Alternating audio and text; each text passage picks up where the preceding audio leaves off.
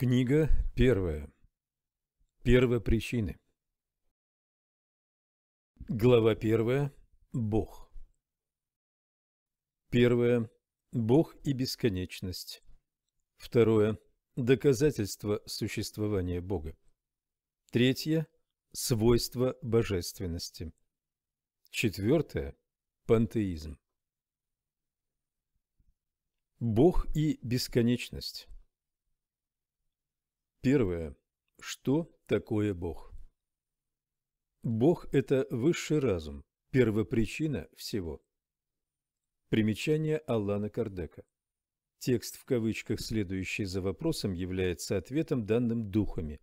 Другими буквами отмечены примечания и развитие рассуждений, добавленные автором, чтобы не путать их с текстом ответа. В случае, если они составляют целые главы, и их невозможно спутать – то сохраняются обычные буквы. Второе. Что мы должны понимать под бесконечностью? То, что не имеет ни начала, ни конца, неизвестность. Все, что неизвестно, есть бесконечность. Третье. Можно ли сказать, что Бог – это бесконечность? Неполное определение – бедность языка человеческого, которого недостаточно, чтобы определить вещи, находящиеся выше их понимания. Бог бесконечен в своем совершенстве, но бесконечность – это абстракция. Говорить, что Бог – это бесконечность, значит принимать свойства за саму вещь и определять вещь неизвестную через другую вещь, которая тем более ей не является. Доказательство существования Бога Четвертое. Где можно найти доказательства существования Бога? В аксиоме, которую вы прилагаете к своим наукам, не бывает следствия без причины. Ищите причину всего, что не является творением человека, и ваш разум ответит вам. Чтобы поверить в Бога, достаточно бросить взгляд на вещи творения. Вселенная существует, значит, тому есть причина. Сомневаться в существовании Бога значило бы отрицать, что любое следствие имеет причину, и утверждать, что из ничего может возникнуть что-то. Пятое. Какое следствие можно извлечь из интуитивного чувства о существовании Бога, которое все люди носят в себе? Что Бог существует, иначе откуда могло бы прийти к человеку это чувство – если бы оно ни на чем не основывалось. Это продолжение того принципа, что нет следствия без причины. Шестое. А не могло бы то сокровенное чувство о существовании Бога, что есть в нас самих, быть следствием воспитания и приобретенных идей? Если бы это было так, то откуда у ваших дикарей это чувство? Если бы чувство существования высшего существа было бы лишь плодом образования, оно не было бы всеобщим и существовало бы как научное понятие только у тех, кто мог бы получить это образование.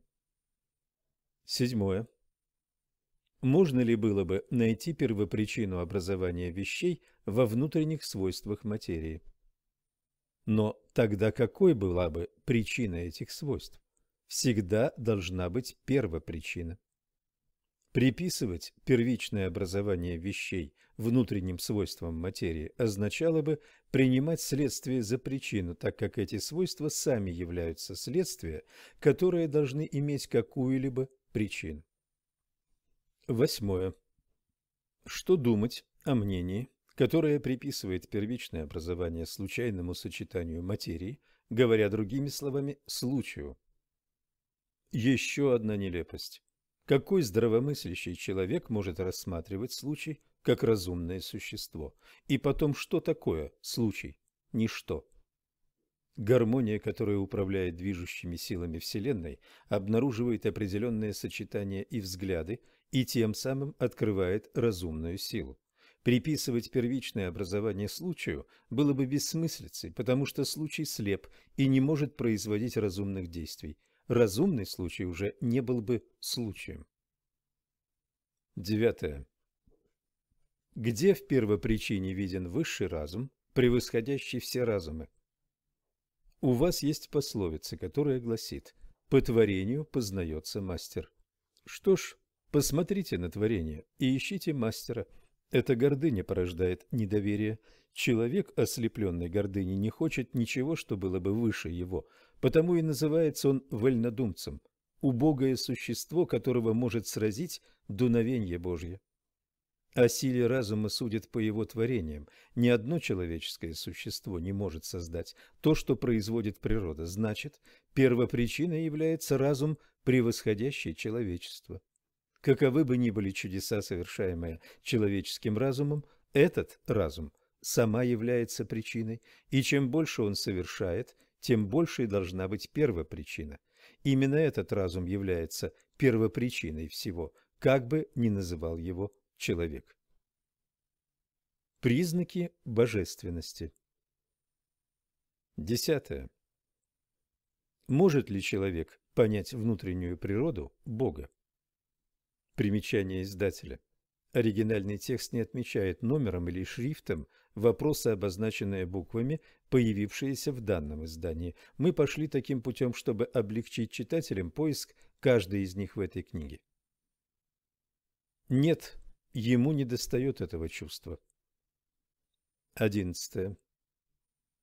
Будет ли однажды дано человеку понять тайну божественности? Когда дух его более не будет затемнен материей, и когда своим совершенством он приблизится к ней, то увидит и поймет ее. Несовершенство способностей человека не позволяет ему понять высшую природу Бога.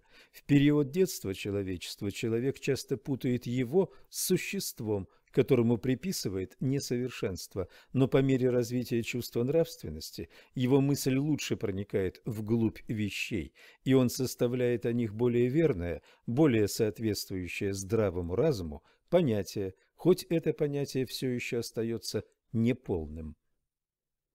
Двенадцатое. Если мы не можем понять сокровенную природу Бога, то можем ли мы иметь представление о некоторых его совершенствах? Да, но только о некоторых. Человек лучше начинает понимать их по мере его возвышения над материей. Он осознает их мыслью. Тринадцатое. Когда мы говорим, что Бог вечен, бесконечен, незыблем, нематериален, уникален, всемогущ, предельно справедлив и добр, является ли это представление о его свойствах полным? С вашей точки зрения – да, потому что вы верите, что охватили все. Но знайте же, что существуют вещи выше понимания самого разумного человека, для которых ваш язык, ограниченный вашими мыслями и чувствами, не имеет выражений – Разум в самом деле говорит вам, что Бог должен обладать этими совершенствами в высшей степени, потому что если бы у него не было хотя бы одного совершенства или обладал бы им не в бесконечной степени, он не был бы превыше всего и, как следствие, не был бы Богом. Бог не может испытывать никаких пороков или несовершенств, которые может представить себе ваше воображение.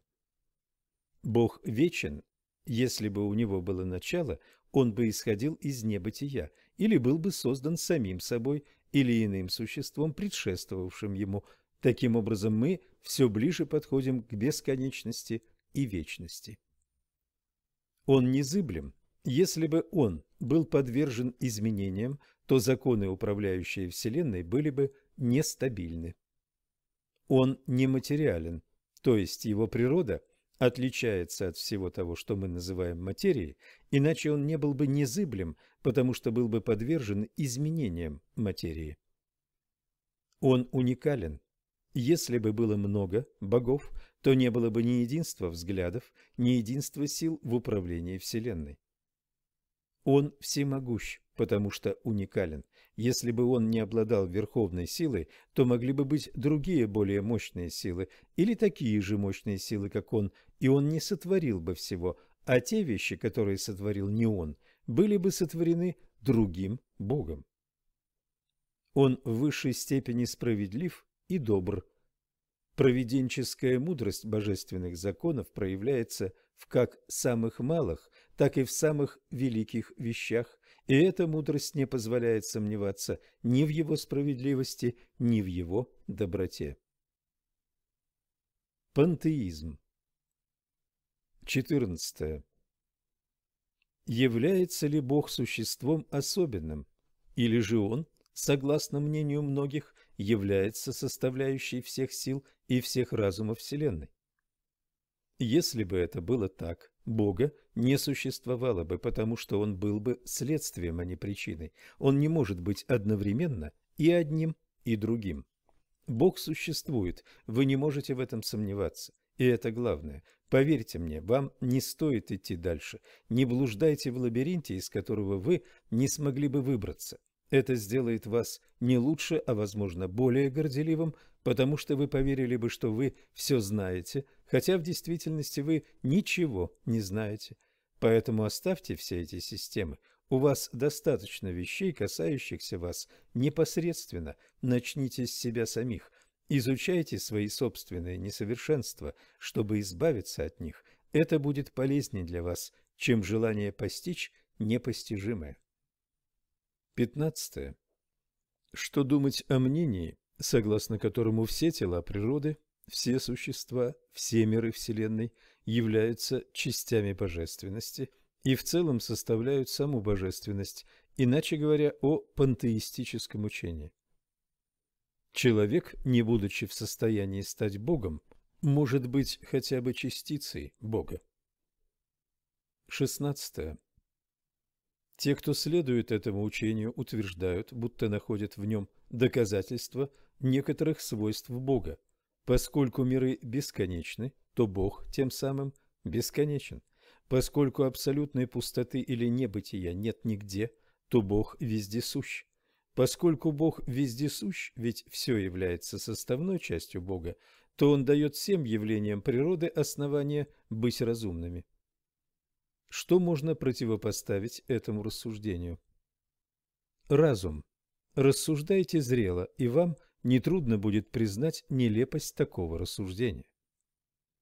Это рассуждение делает из Бога некое материальное существо, которое хотя и одарено высшей разумностью, но в большем масштабе является тем, что мы есть в малом – но так как материя непрестанно преобразуется, то Бог в таком случае не должен бы иметь никакого постоянства. Он оказался бы подвержен всем превратностям, даже всем потребностям человечества. Он был бы лишен одного из главных свойств божества – незыблемости. Свойства материи не могут увязаться с идеей Бога без того, чтобы не принизить его в нашей мысли, и все утонченности софистики не смогут разгадать тайну его сокровенной природы. Мы не знаем, что он есть, но мы знаем, чем он не может быть, а эта система находится в противоречии с самыми основными его свойствами. Она смешивает Создателя с созданием, точно так же, как если бы кто-то захотел, чтобы некая замысловатая машина была составной частью создавшего ее инженера. Разумность Бога проявляется в его делах так же, как разумность художника в его картинах, но творение Бога не он сам, как картина не является художником, задумавшим и создавшим ее. Глава вторая. Основные элементы Вселенной. Первое. Знание начала вещей. Второе. Дух и материя. Третье свойства материи. Четвертое – космическое пространство. Знание начала вещей. Семнадцатое. Дано ли человеку знать начало вещей? Нет, Бог не позволяет, чтобы все было открыто человеку в этом мире. Восемнадцатое. Проникнет ли человек когда-нибудь в тайну сокрытых от него вещей? Покров поднимается для него по мере того, как он очищается. Но чтобы понять некоторые вещи, ему нужны способности, которыми он еще не обладает. 19. Может ли человек через научное исследование проникнуть в некоторые из тайн природы? Наука была дана ему для его продвижения во всем, но не может выйти за пределы, поставленные ему Богом. Чем более дано человеку продвигаться вперед в этих тайнах, тем более велико должно быть его восхищение могуществом и мудростью Создателя. Но то ли по гордыне, то ли по слабости сам рассудок зачастую делает его игрушкою иллюзии. Он наваливает системы на системы и всякий день показывает ему, сколько заблуждений принял он за истины и сколько истин отверг как заблуждения. Все суть разочарования гордыни. 20.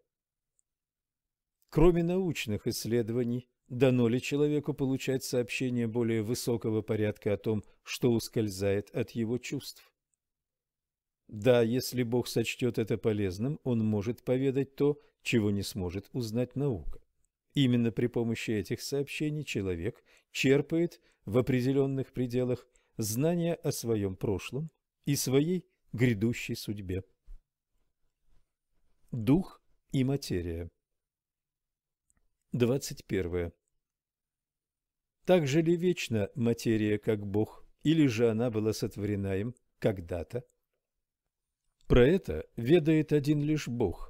Но все же есть одна вещь, на которую разум должен вам указать, что Бог, средоточие любви и милосердия, никогда не был бездеятелен – Каким бы отдаленным вы ни представляли себе начало его действия, можете ли вы хоть на мгновение представить себе его в праздности?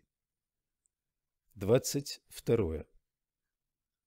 Обыкновенно материю определяют как то, что обладает протяженностью, что может воздействовать на наши чувства, вызывая ощущения, что непостижимо, точны ли эти определения. С вашей точки зрения точны, потому что вы говорите лишь о том, что вам известно, но материя существует и в таких состояниях, которые вам совершенно неведомы. Она, например, может быть настолько эфирной и утонченной, что не окажет никакого воздействия на ваши чувства. Все же она остается материей, хотя для вас это было бы не так. 22 А. Какое определение вы можете дать материи? Материя есть узы, сковывающие дух. Это служащий ему инструмент, на которое в то же время он оказывает свое действие. С этой точки зрения можно сказать, что материя есть агент, посредник, с помощью которого и на который воздействует дух. 23. Что есть дух? Разумное начало Вселенной. 23 А. Какова сокровенная природа духа? Дух нелегко анализировать на вашем языке, для вас он ничто, потому что дух не является чем-то таким, что можно пощупать, но для нас это нечто. Усвойте себе хорошенько, ничто – это не бытие, а небытия не существует. 24. Является ли дух синонимом разума? Разум – главное свойство духа, но тот и другой смешиваются в общем принципе таким образом, что для вас это становится одним и тем же. 25. Независим ли дух от материи, или же он всего лишь свойство ее, как цвета – это свойство света, а звук – свойство воздуха? Оба они независимы, но нужен союз духа и материи, чтобы сделать материю разумной.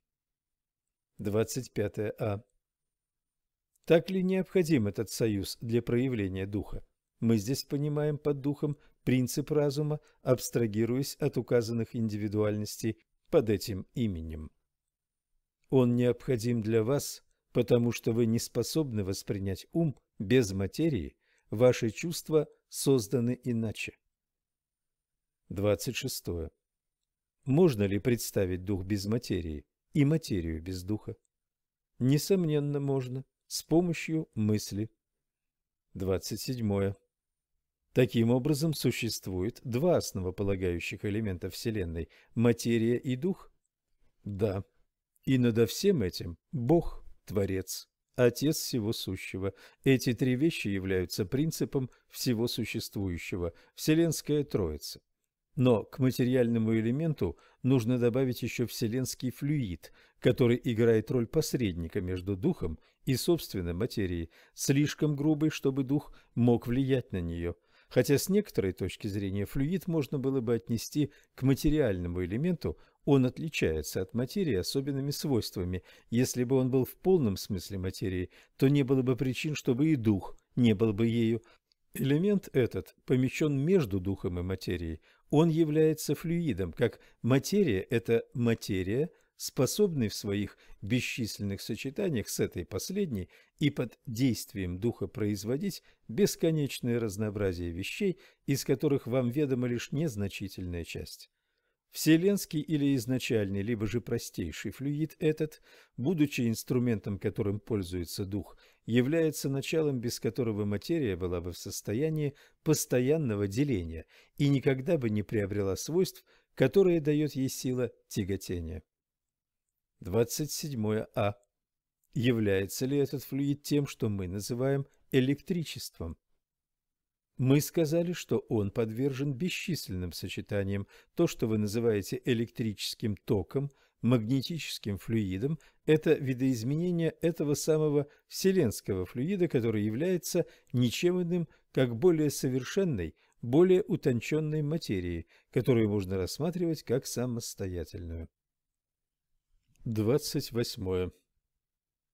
Поскольку сам дух есть нечто, то не точнее ли будет обозначить эти два основополагающих элемента словами «материя инертная» и «материя разумная»? Слова нас мало интересуют. Это вам надо строить свою речь так, чтобы понимать друг друга. Споры ваши почти всегда происходят от того, что вы по-разному понимаете смысл слов, поскольку язык ваш не полон и несовершенен для выражения вещей, не воспринимаемых вашими чувствами. Очевидный факт господствует над всеми гипотезами. Мы видим материю, которая неразумна.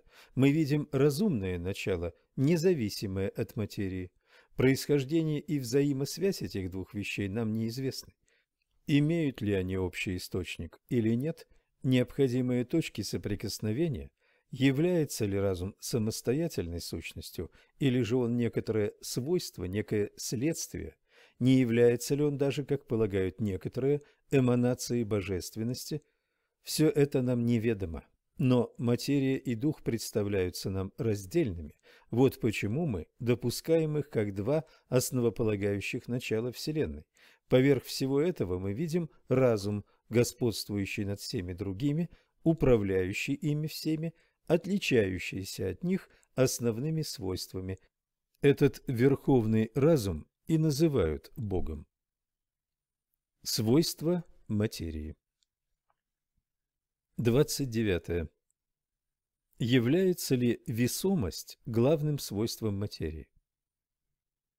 Той материи, которая понимается вами как таковая, да, но нет, если речь идет о материи, рассматриваемой как вселенский флюид. Материя эфирная и утонченная, образующая этот флюид, для вас невесома, и тем не менее она является началом вашей весомой материи. Тяжесть свойства относительная. За пределами сфер притяжения миров веса не существует, равно как не существует ни верха, ни низа. 30.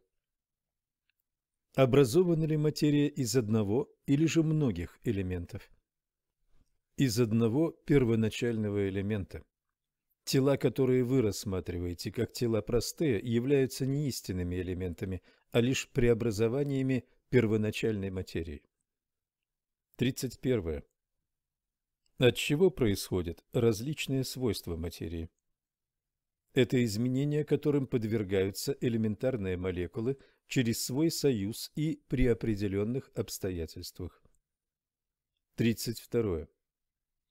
Согласно этому, вкус, запах, цвет, звук, ядовитые или целительные свойства тел являются лишь видоизменениями одной и той же первоначальной субстанции.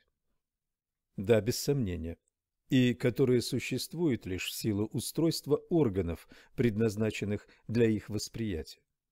Этот принцип доказывается тем фактом, что свойства тел воспринимаются нами не одинаково. Один находит одну вещь приятной на вкус, другой неприятной. Одни видят голубым то, что для других красное, то, что яд для одних, безобидно или целительно для других. 33. Способна ли эта же элементарная материя принимать все виды изменения и наделяться всеми свойствами? Да, и именно это и следует иметь в виду, когда мы говорим, что все во всем. Примечание Алана Кардека.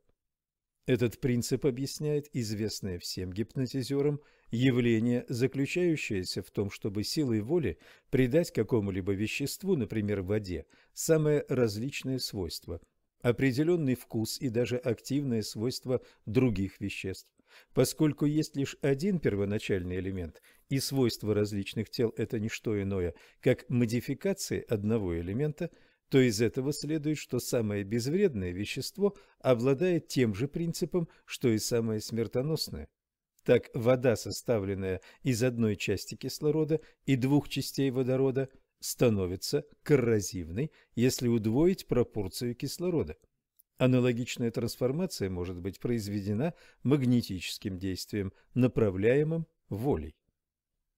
Кислород, водород, азот, углерод и все тела, которые мы рассматриваем как простые, не что иное, как модификации единой первоначальной субстанции. Из-за невозможности, в какой мы в настоящее время находимся, подняться по-иному, нежели мыслью, к этой первоначальной материи – Тела эти представляют для нас настоящие элементы, и мы можем без каких-либо последствий рассматривать их как таковые вплоть до новых указаний. 33а. Похоже, что эта теория обосновывает мнение тех, кто допускает в материи лишь два основных свойства – силу и движение, и кто полагает, будто все остальные свойства ее всего лишь вторичные следствия, изменяющиеся согласно степени силы и направление движения. Мнение это справедливо. Нужно также добавить «согласно расположению молекул», как ты, например, это видишь в матовом теле, которое может стать прозрачным, и наоборот.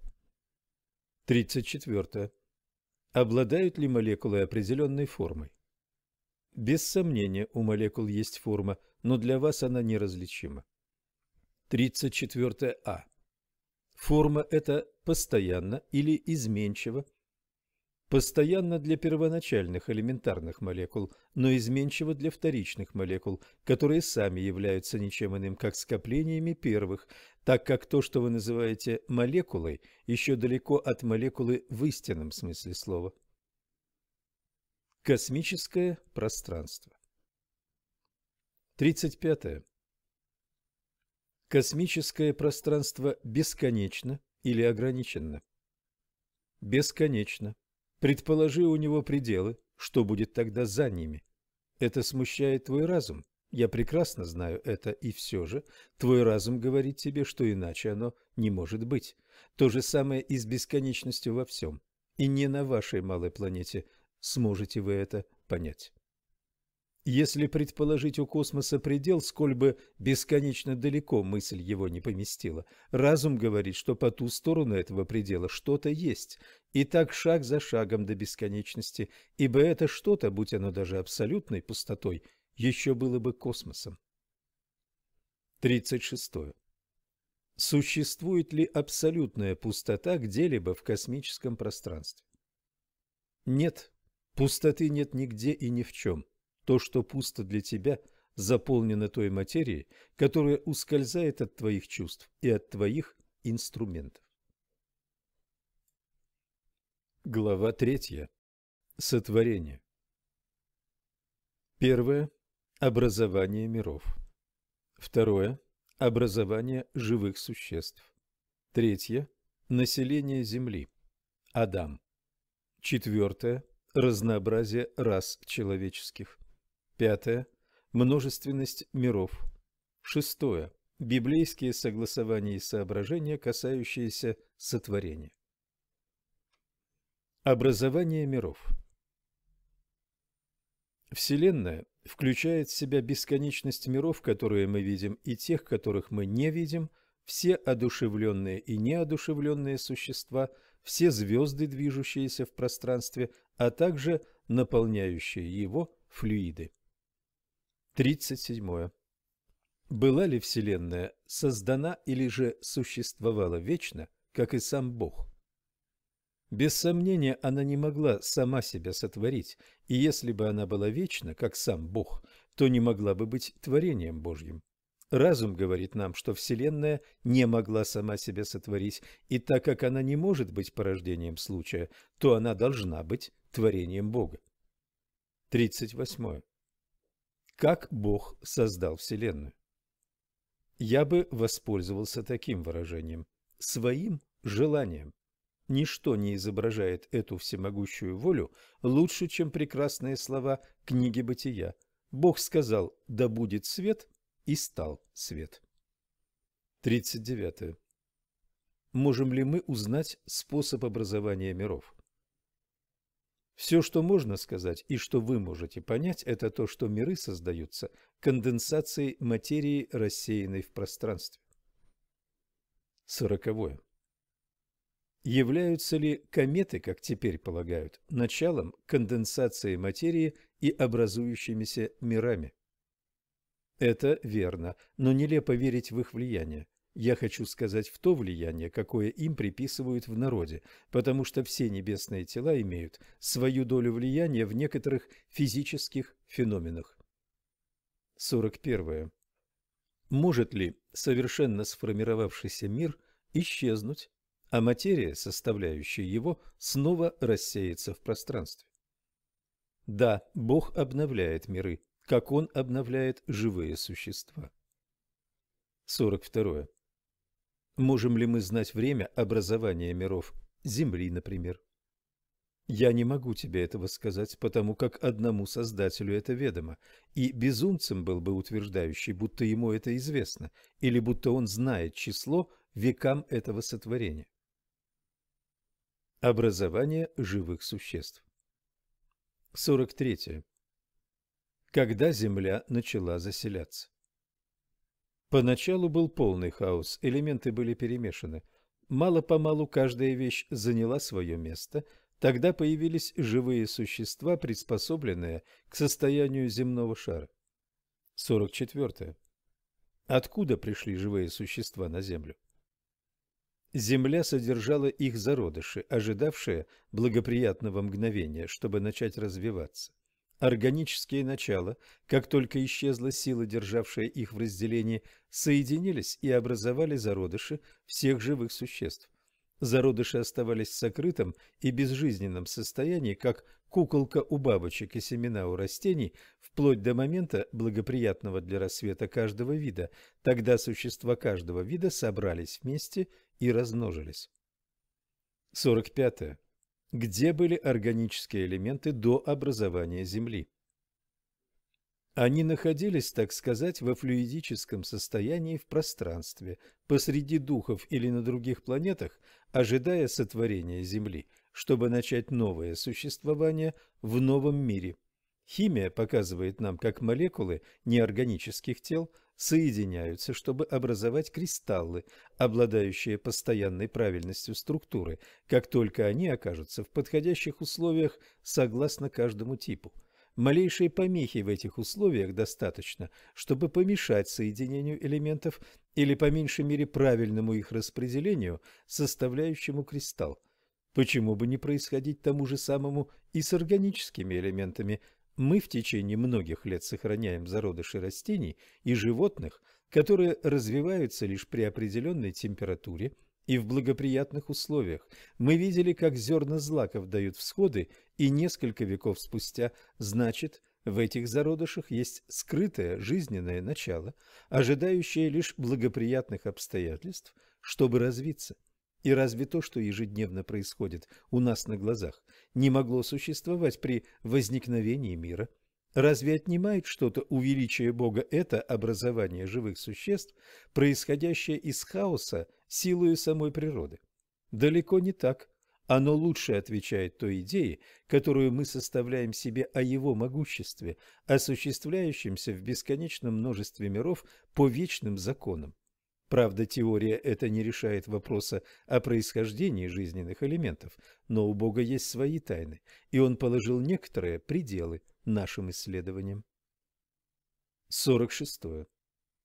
Есть ли еще существа, рождающиеся самопроизвольно? Да, но первоначальный зародыш существовал уже в скрытом состоянии. Вы ежедневно являетесь свидетелями этого явления. Разве не содержат ткани человека и животных зародыши множество червей, которые ждут, чтобы начать гнилостное брожение, необходимое для их существования? Это малый мир, который дремлет и создается. 47. Находился ли род человеческий среди органических элементов, содержащихся в земном шаре? Да, и он пришел в свое время. Это и породило выражение, будто человек был создан из грязи земной. 48. Можем ли мы знать время появления человека и других живых существ на Земле?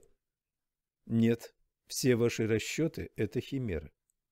49. Если зародыш рода человеческого находился среди органических элементов земного шара, то почему же люди больше не создаются самопроизвольно, как при своем возникновении? Начало вещей в тайнах Бога, однако можно сказать, что люди, однажды распространившись по земле, впитали в себя элементы, необходимые для их образования, чтобы передавать их согласно законам воспроизводства – также обстоит дело с различными родами живых существ. 50. -е. Начался ли род человеческий с одного человека? Нет, тот, кого вы называете Адамом, не был ни первым, ни единственным из обитателей Земли. 51. Можем ли мы знать, в какую эпоху жил Адам? Приблизительно в ту, которую вы ему отводите, около четырех тысяч лет до Рождества Христова. Человек, которого мы называем Адамом, был одним из тех, что выжили в неком краю Земли после нескольких великих катаклизмов в различные эпохи, сотрясавших поверхность земного шара. Он стал родоначальником одной из рас, населяющих сегодня Землю.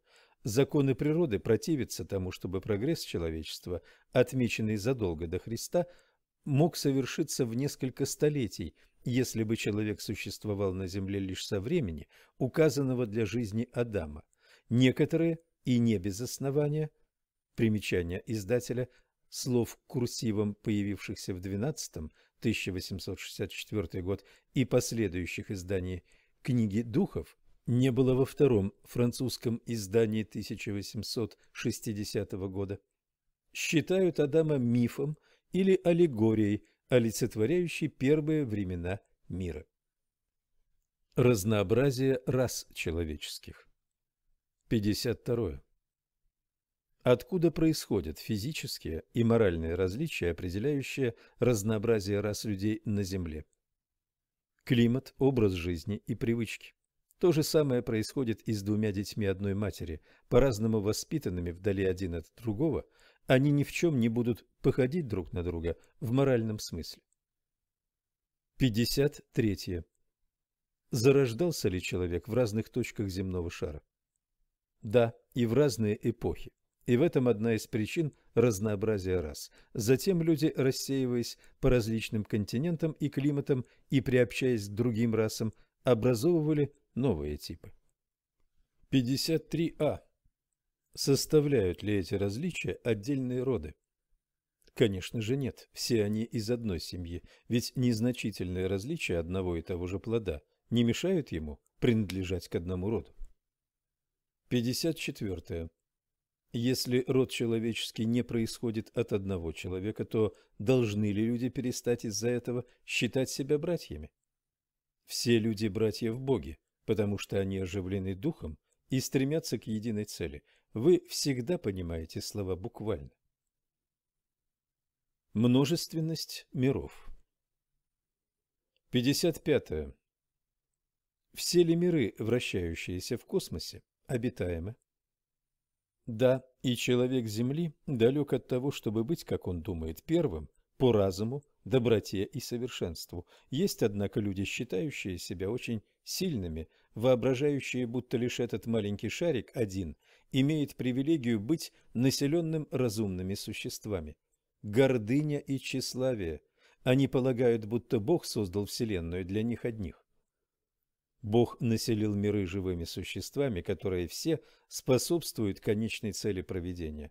Думать, что живые существа ограничены одной точкой, которую мы населяем во Вселенной, значило бы поставить под сомнение мудрость Бога, который не сделал ничего бесполезного. Он, должно быть, определил этим мирам более серьезную цель, чем развлечение нашего взгляда. Ничто, впрочем, ни в положении, ни в размере, ни в физическом строении Земли не может на разумных основаниях заставить предположить, будто эта точка одна имеет привилегию быть обитаемой, как исключение из стольких тысяч подобных миров. 56. Одинаково ли физическое устроение иных миров? Нет, они нисколько не схожи. 57. Поскольку физическое устроение миров не одинаково для всех, то следует ли из этого для населяющих их существ различия в организации? Несомненно, как у вас рыбы созданы, чтобы жить в воде, а птицы в воздухе. 58. Лишены ли света и тепла миры, наиболее удаленные от Солнца, из-за того, что Солнце показывается им лишь в виде звезды? Неужели вы думаете, будто нет других источников света и тепла, кроме Солнца? И неужели вы ни во что не ставите электричество, которое в некоторых мирах играет роль неведомую вам и совершенно по-иному важную, чем на Земле? Впрочем, никто не говорит, будто все существа видят одинаковым с вами образом и органами, устроенными так же, как ваши. Условия жизни существ, обитающих в различных мирах, должны быть приспособлены к среде, в которой они призваны жить. Если бы мы никогда не видели рыб, то не поняли бы, как эти существа могут жить в воде. Так же обстоит дело и с иными мирами, которые без сомнения включают в себя элементы, неведомые нам. Разве не видим мы на Земле, как длинные полярные ночи освещаются электричеством полярного сияния? И разве так уж невозможно то, что в некоторых мирах электричество обильнее, чем на Земле, и играет там главную роль? следствие которой мы не можем понять, значит миры эти могут заключать в себе самих источники тепла и света, необходимые их обитателям. Библейские согласования и соображения, касающиеся сотворения. Народы составили себе о сотворении самые различные понятия согласно степени своей просвещенности. Разум, опирающийся на науку, признал неправдоподобность некоторых из этих теорий. Та же, которая дается духами, подтверждает мнение, с давних пор допущенное самыми просвещенными людьми. Возражение, которое можно выдвинуть против этой теории, заключается в том, что она противоречит тексту священных писаний, но серьезный анализ заставляет признать, что противоречие это более мнимое, чем действительное, и что оно следует из толкования даваемого часто аллегорическому смыслу. Вопрос о первом человеке в лице Адама как единственном основателе человечества совсем не единственный, где религиозным представлениям надо бы измениться. Вращение Земли оказалось в свое время настолько противопоставленным священному тексту, что нет таких преследований, которым бы теория эта не послужила в свое время предлогом. И все же Земля вертится, вопреки всем анафемам, и никто сегодня не может оспаривать этого, будучи в здравом уме. Библия говорит также, что мир был сотворен за шесть дней и определяет эпоху его сотворения приблизительно четырьмя тысячами лет до христианской эры – до этого Земли не существовало, она была извлечена из небытия. Текст формален, и вот позитивная наука, непреклонная наука приходит доказать противоположное. Образование мира неписанными буквами отмечено в мире ископаемом, и доказано, что шесть дней творения – это скорее периоды, каждый из которых длительностью, быть может, во много сотен тысяч лет, причем все это не какая-то система, какое-то учение или изолированное мнение – это явление столь же постоянное, как и вращение Земли, которое теология вынуждена была принять. Оно – очевидное доказательство заблуждения, в которое можно впасть, понимая буквально аллегорические выражения образного языка. Следует ли из этого заключить, будто Библия является заблуждением? Нет, это люди ошибались, трактуя ее. Наука, роясь в архивах Земли, признала порядок, в каком различные живые существа появились на ее поверхности. И порядок этот согласуется с тем, что указан в книге «Бытия», с той лишь разницей, что творение это вместо того, чтобы чудесным образом выйти из рук Бога за несколько часов, свершилось по воле Его, но согласно с законами природы, в несколько миллионов лет. Разве Бог от этого становится менее великим и менее могущественным? Разве дело его менее величественно от того, что не имеет очарования мгновенности? Очевидно, нет. Нужно было составить себе о Боге понятие крайне скудное, чтобы не признать его всемогущество в вечных законах, которые он установил, чтобы управлять мирами. Наука не только не преуменьшает дело божеское, но и показывает его нам в виде более грандиозном и более соответствующим нашим понятиям о могуществе и величии Бога, свидетельствуя, что все совершилось – ни в чем не нарушая законов природы.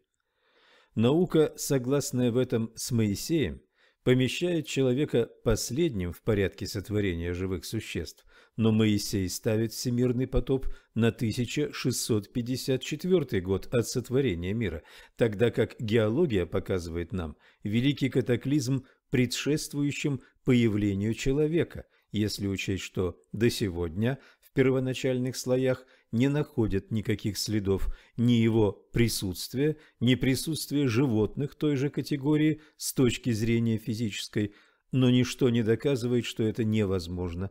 Многие открытия посеяли на этот счет сомнения.